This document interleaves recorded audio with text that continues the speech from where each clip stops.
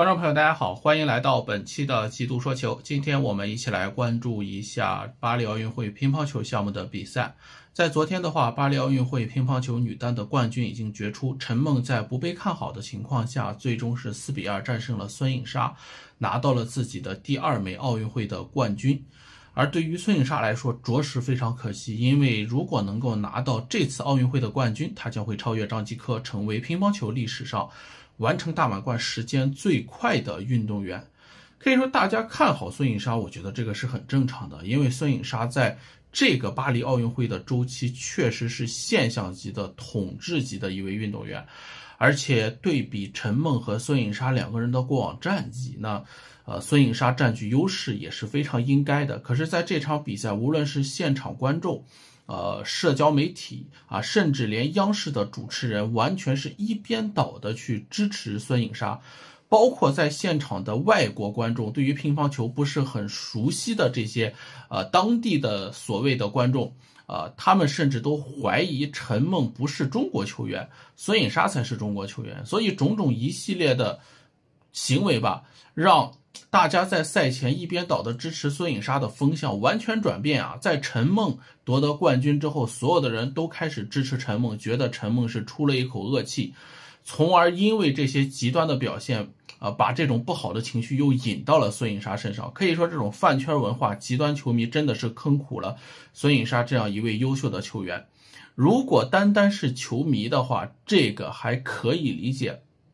毕竟啊。球迷嘛，他很多时候他都带着情绪看球，无法控制。但是，作为一名专业的解说员，是否应该保持公正公利呢？而且，这还是两位中国选手之间的比赛。如果说这是孙颖莎打外协会的选手，你在解说的过程当中有非常明显的倾向性，这个是没有任何问题的。但是，现在是两个。中国选手打球，一旦孙颖莎打出好球，央视的女解说员就会提高几倍的分贝，啊，来表达自己的这种兴奋之情。而一旦陈梦打出好球，则解说的较为平淡，甚至当陈梦连续打出好球的时候，直接就是沉默不语。那这样的一种行为，也是引发了球迷对于这名女解说员的不满。她的个人社交媒体在赛后也被冲爆了。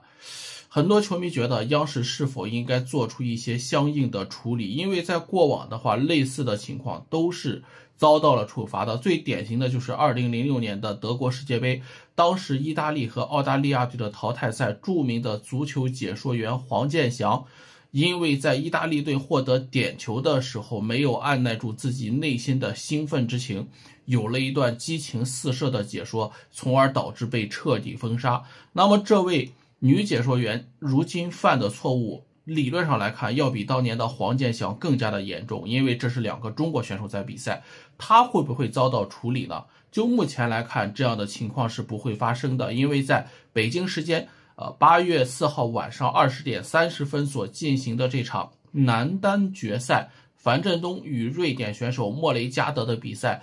坐在解说席上的依然是这位女解说员。或许临时的更换解说员的话，对于乒乓球这个项目来说难度太大了，因为啊，当时解说世界杯的足球解说员除了黄健翔之外，还有两位实力非常顶尖的同行，所以说完全可以把比赛给匀开。但是